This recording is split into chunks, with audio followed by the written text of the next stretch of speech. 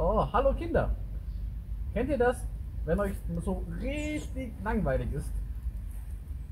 Genau so ging es mir gestern. Aber Gott sei Dank habe ich dann die Miriam getroffen. Und so wurde es doch noch ein richtig spannender Nachmittag. Oh, hallo Miriam. Hi Rudi, Was machst du denn hier? ich bin auf dem Weg zum Rathaus. Was, was willst du da? Ich will eine Freundin von mir besuchen. Ah, okay. Du, du ich habe gerade eh nichts zu tun. Hättest du was dagegen, wenn ich mitkomme?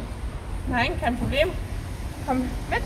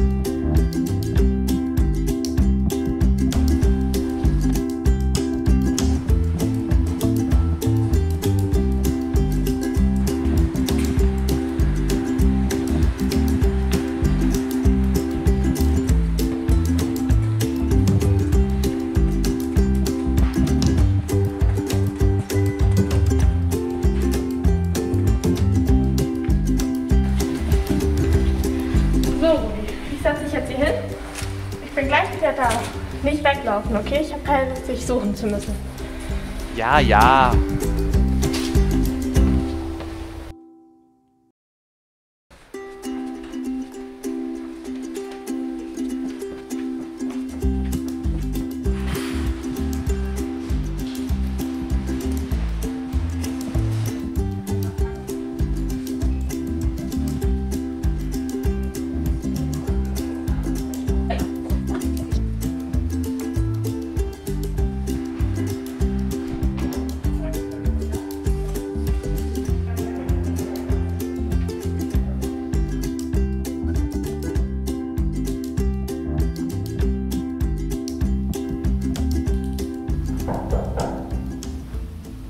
Ja, bitte? Hallo? Hallo? Wer bist du denn? Ich bin Katrin Einsteiger und wer bist du? Ich bin der Rabe Rudi. Hallo, komm doch rein.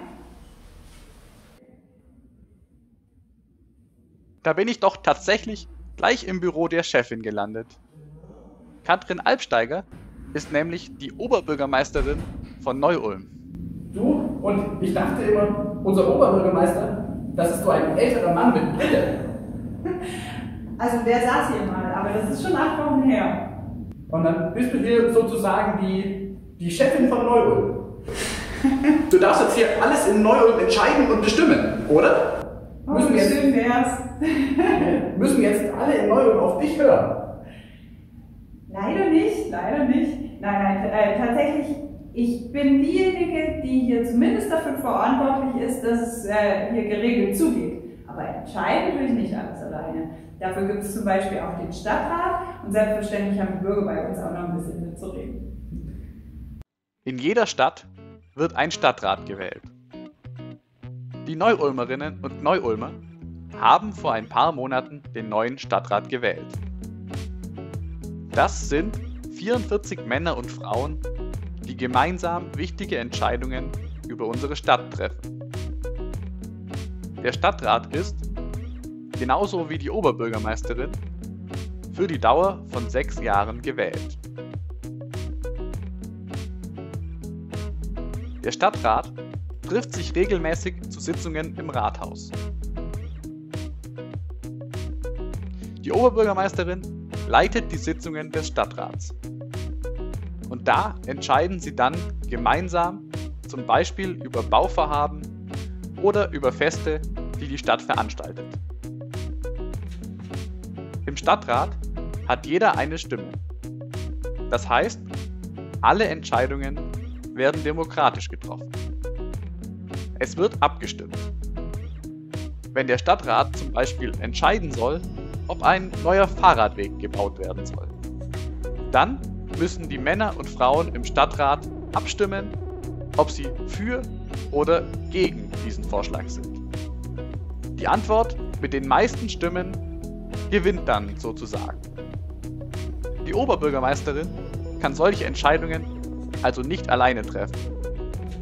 Aber auch die Oberbürgermeisterin hat eine Stimme im Stadtrat und kann so natürlich mitentscheiden. Sie regiert also nicht wie die Königin von Neu-Ulm, der alle gehorchen müssen. Sie ist auch nicht unsere Chefin. Aber sie ist sozusagen die Chefin vom Stadtrat.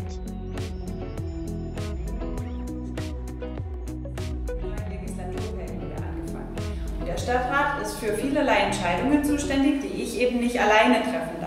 Das funktioniert auf zweierlei Weise. Entweder ich mache gemeinsam mit meiner Verwaltung den Vorschlag, was beschlossen werden müsste. Dinge, Probleme, die gelöst werden müssen, Baumaßnahmen, die angegangen werden müssen. Und mit diesem Vorschlag gehe ich dann in den Stadtrat und stelle das zum, zur Diskussion und zur Beschlussfassung. Auf der anderen Seite kann der Stadtrat aber auch selber bei mir ankommen und mit Anträgen mich beauftragen, das eine oder das andere zu erarbeiten und ihn dann wieder zur Beschlussfassung vorzulegen. Also insofern ist der Stadtrat ein Gremium, das mit mir gemeinsam Themen bespricht und zum Schluss die Entscheidungen trifft. Okay, okay. Ja, und, und was musst du dann als Chefin von Molden alles machen?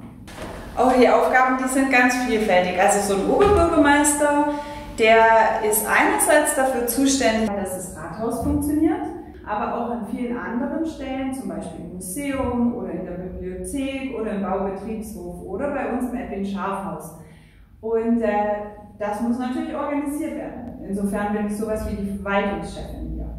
Aber es gibt noch ein bisschen mehr zu tun, zum Beispiel nach draußen zu gehen und sich mit den Leuten, die hier neu wohnen und arbeiten, zu unterhalten, zu schauen, wo der Schuh drückt oder vielerlei andere Dinge, die im öffentlichen Raum bei uns stattfinden, zu organisieren, zu eröffnen und stattfinden zu lassen.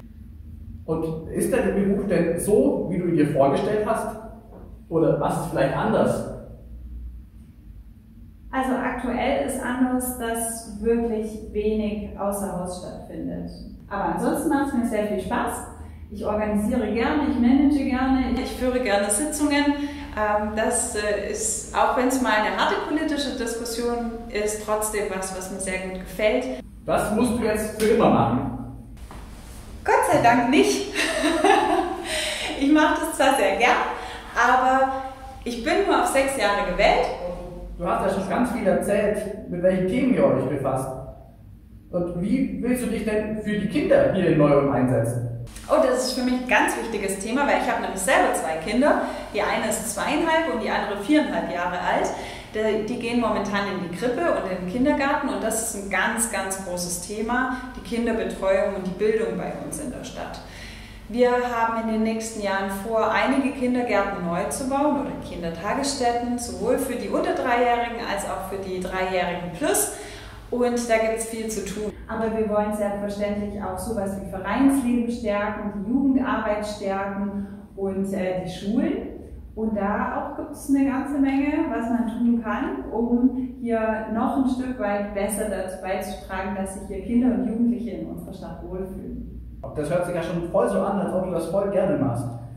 Aber warum wolltest du denn überhaupt Oberbürgermeisterin werden? Das ist eine wirklich schwierige Frage. Die beginnt eigentlich die Geschichte schon relativ früh. Ich war mit 15 Schülersprecherin hier in Neu-Ulm am Bertha von Suttner Gymnasium und habe da meine ersten Erfahrungen gemacht, wie das ist, als eine, die halt Vertreterin von anderen ist, als gewählte Schülersprecherin dieser Schule, wie es ist, wenn man sich für andere einsetzt. Insofern war das meine erste politische Erfahrung und die hat mir sehr viel Spaß gemacht.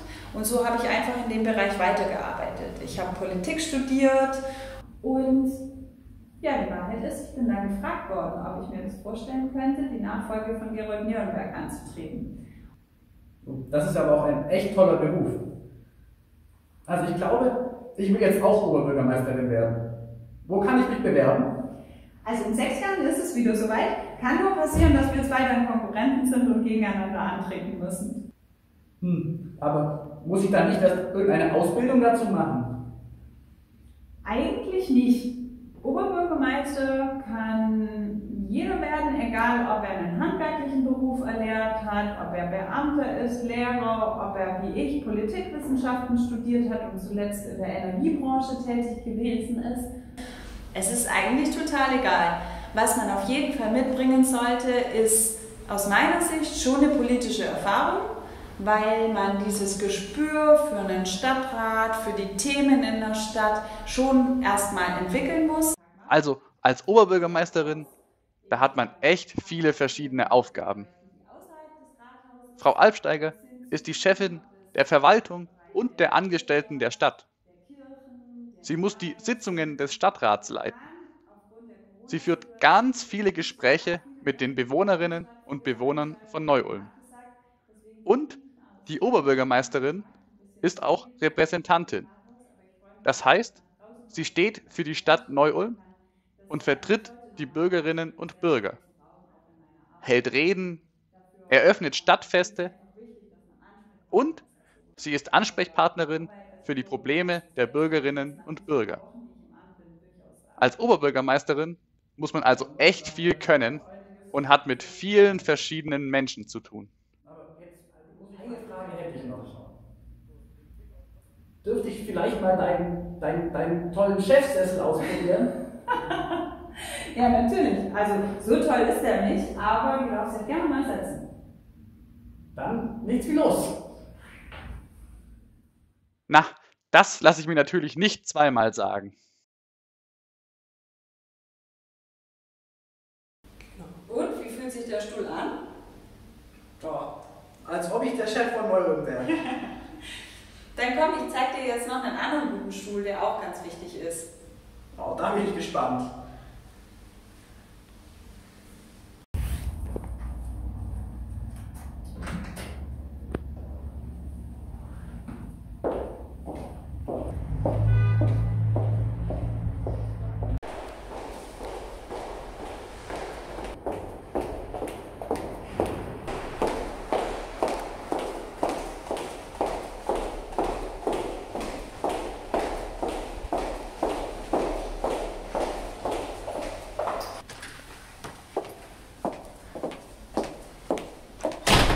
Das ist jetzt der Sitzungssaal des Rathauses.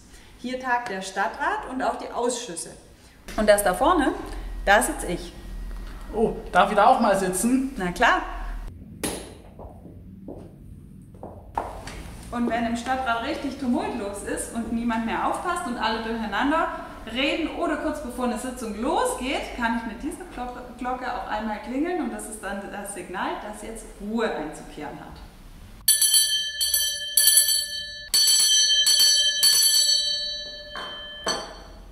Dann kann es losgehen. Und was ist das hier? Was hast du da Tolles? Das ist mein großes Schmuckstück. Und zwar die Amtskette. Die wird nur zu ganz besonderen Anlässen getragen. Ich hatte sie bisher ein einziges Mal an. Das war zu meiner eigenen Vereidigung und zur Vereidigung der neu gewählten Stadträtinnen und Stadträte. Und darf ich da jetzt auch mal sitzen? Klar.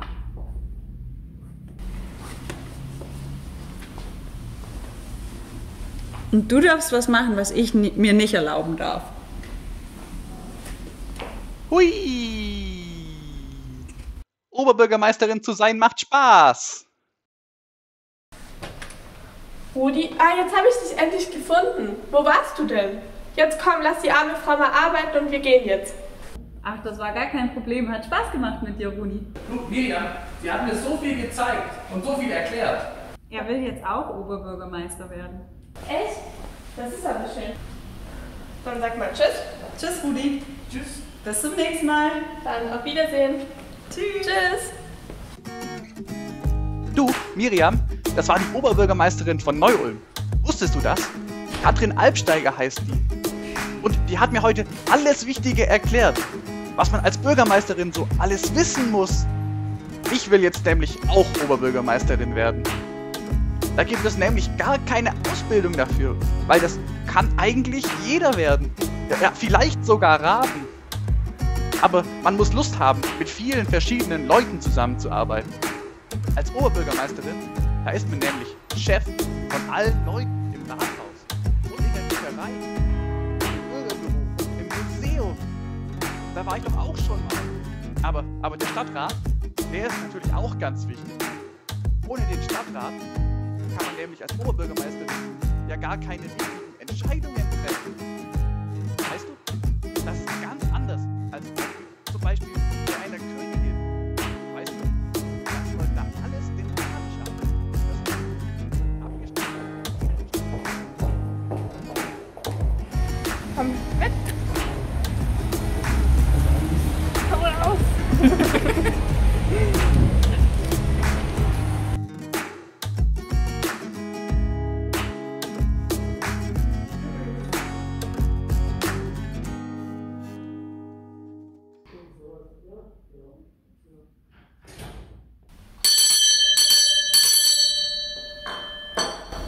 Und dann kann es losgehen.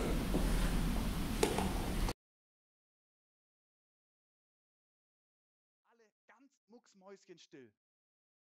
Und eine große, schwere, goldene Amtskette hat die Oberbürgermeisterin. Aber die darf sie nur zu ganz besonderen Anlässen tragen. Die wäre ja auch viel zu schwer fürs Büro.